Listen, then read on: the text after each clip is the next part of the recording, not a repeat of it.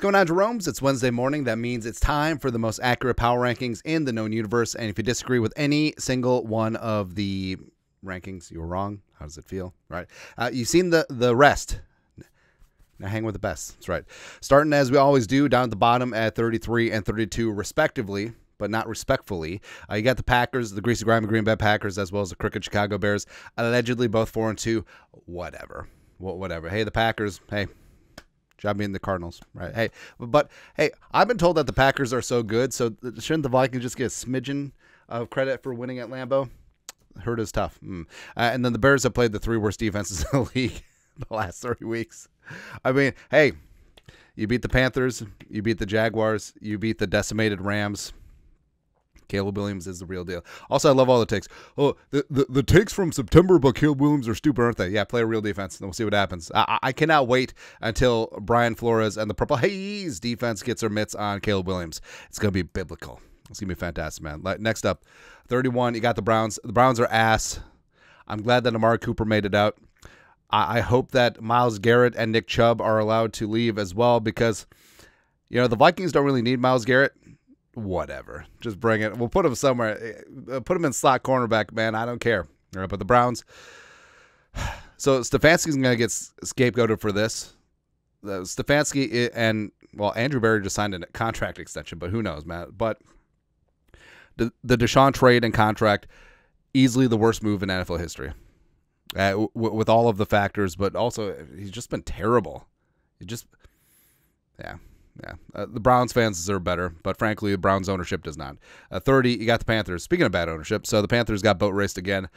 Hey, I know that Thielen's on IR, but just cut him so that he can just come back. You can be wide receiver six. You can be a healthy scratch. Just be around in the building, man. Go, ahead. But uh, Panthers. Hey, if Derrick Brown wasn't hurt, Ah, it'd be great to trade for Derrick Brown. Uh, but we'll take your finest Jaycee Horns. Basically, this power rankings is just, is just who can we trade for from your team. Patriots, I don't want anyone. uh, unless Gonzo's available. I don't know. But the Patriots, um, hey, at least Drake Maye threw three touchdowns. I mean, you, got the great white hope. I mean, Drake Maye, guy I liked in the draft process a lot. He's going to need time and he's going to need weapons and protection. And the Patriots have none of that.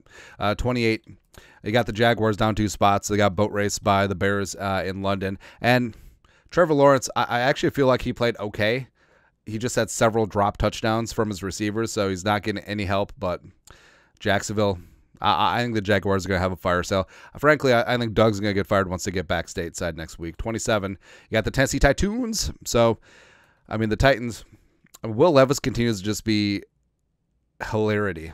Must see TV every single week. Uh, this time, unfortunately, he took out, like, I think it was a ball boy uh, on the side towards ACL. I mean, come on, Will Levis.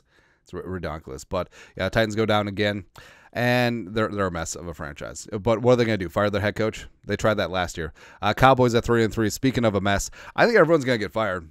Well, except for the general manager, Jerry, uh, Jerry Jones. Uh, you know, getting mad with radio talk show people. Uh, the flagship station, by the way. Uh, but Mike McCarthy's going to get fired. Zimmer, frankly, should be fired. I like. How do you give up 47 points to the Lions at home? Just an embarrassment absolutely. I, I, I don't care about the injuries.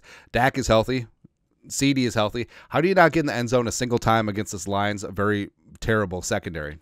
It's ridiculous. Uh, speaking of ridiculous, the Jets. Hey, so the the Jets' issues are their offensive line is bad and their their kicker is terrible. Their offensive play calling is terrible, and they just fired their head coach. So let's trade for 31 year old Davante Adams, which is going to solve everything. Like this just seems like uh, a knee jerk reaction to being two and four, and Davante's not going to fix things.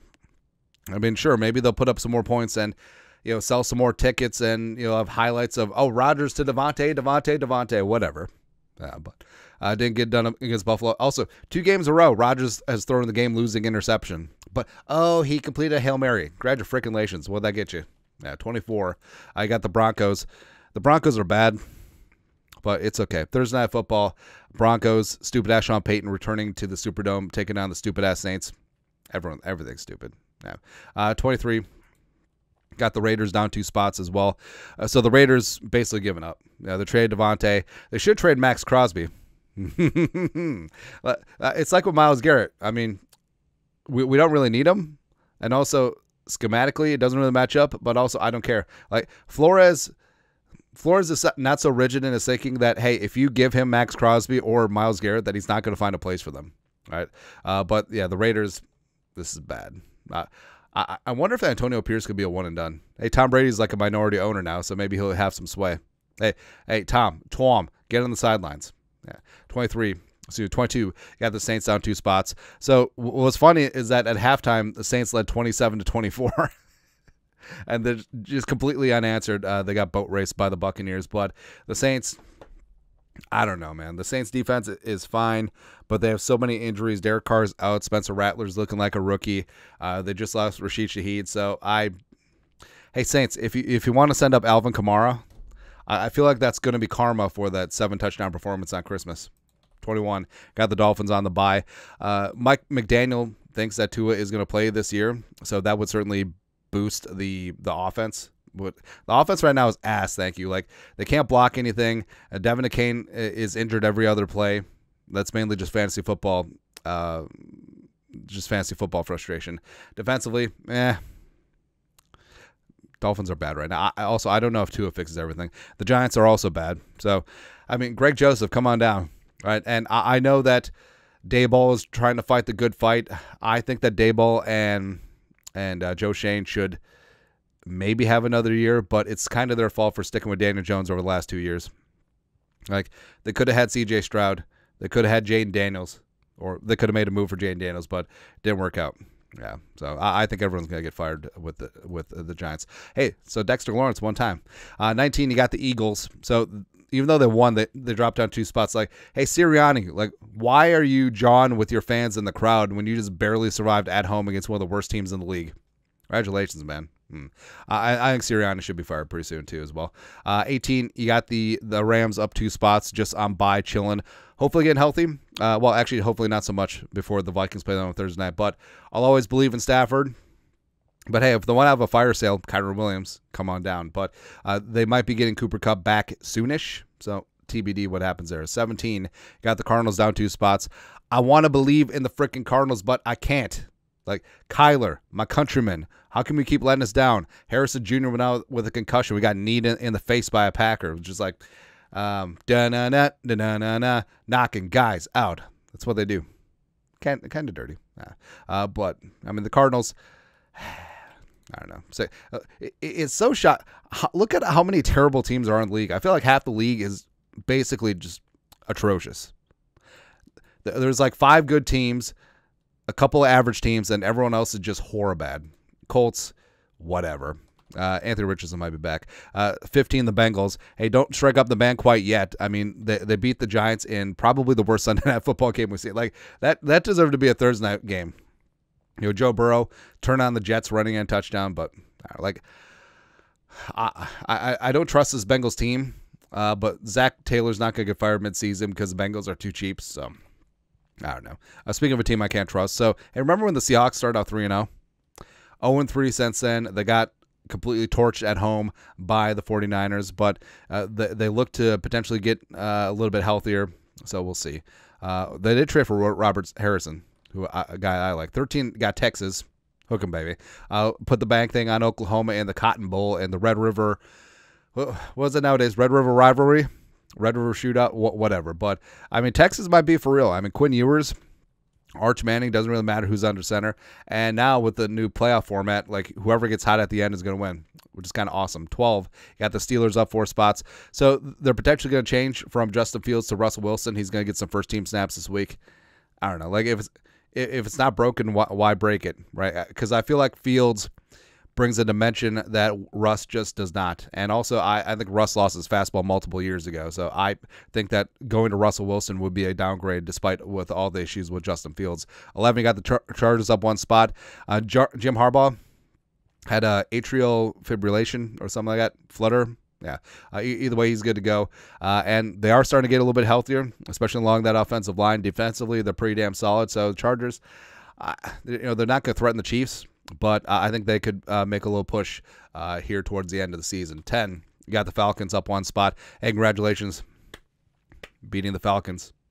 awesome. Tyler Allgeier runs hard. Like I, I know that Bijan gets all of the accolades and stuff, but Tyler Allgeier, man, like he he runs angry, which is awesome. Nine, the Niners are back, finally making our win against them week two look better. Uh, but the Niners uh, went into Seattle and just completely the Seahawks, and they're starting to click again, and potentially they'll get McCaffrey back later in the season. We'll see.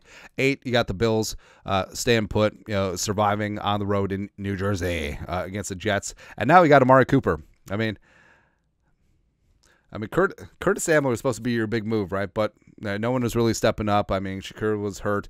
Uh, Keon Coleman is sort, sort of whatever so far. But Amari Cooper is a legitimate receiver, man. Uh, with Josh Allen, I mean, that, that certainly could be an interesting match. Uh, seven, got the Buccaneers. I love and respect the Buccaneers. Uh, I love what Liam Coen has done uh, as OC. Bucky Irving, he's hanging on to the ball, which is great. Sean Tucker put up huge numbers as well. Baker's having fun. Godwin is back. That defense is solid with Bowles. So, yeah.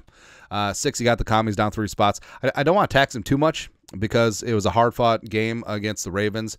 And I, I do believe, I believe in Jayden Daniels, man. Like I think that he is going to be a true talisman uh, in the league. Five, you got the Ravens up two spots, uh, taking care of things at home. Hey, remember when the uh, everyone was writing the Ravens off when they're 0 2? Yeah, four wins in a row. Nothing to sneeze at. Uh, five, you got the Lions. Whatever. Hey, we'll, we'll see what happens on Sunday, man. Uh, yeah, we'll see if you're cocky enough to be throwing uh, fades to Taylor Decker and like hooking ladders to Penei Sewell and Dan Skipper out at the X receiver spot. Yeah, bring it. bring it on. Three, you got the Texans up one spot. Just went in, demolished the Patriots. Uh, and the Texans are for real. And again, also they're making our, our win against them the blowout win, by the way. Week three, really good. Oh, but they didn't have Joe Mixon. Where does Joe Mixon play on the Texans defense? That gave up 34 points, four touchdowns to Sling Sam Darnold. Like, where does Joe Mixon factor in there? Uh, and and then of course one and two stay and put. I got the Vikings and the Chiefs uh, off of the bye. And one and two, what to do? Right. Uh, but that's it. That's at week seven after NFL Power Rankings. If you disagree with any single one of the rankings, you are wrong. How does it feel? Let us know your thoughts. Our thoughts, comment section. You know what to do. Skull production value.